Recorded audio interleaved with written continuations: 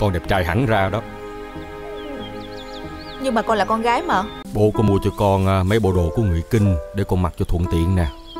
Con coi thử coi. Ủa? Hả? Sao cái đồ gì mà nó rộng quá vậy? Đồ con trai hả bố? Con mặc váy Thì mà con cứ thử à, cho bố coi coi.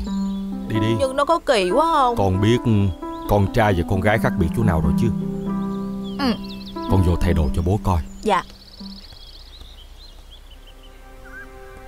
Bố. Lại để bố xem. Con đẹp trai hẳn ra đó. Nhưng mà con là con gái mà. Cái áo này con thấy nó làm sao á? Nó rộng rộng kỳ kỳ á. Đúng không bố? Bố thấy được mà. Con nè Con mặc đồ như vậy cho nó an toàn. Thôi cha con mình đi chuẩn bị đồ đạc đi Rồi mình lên đường con. Dạ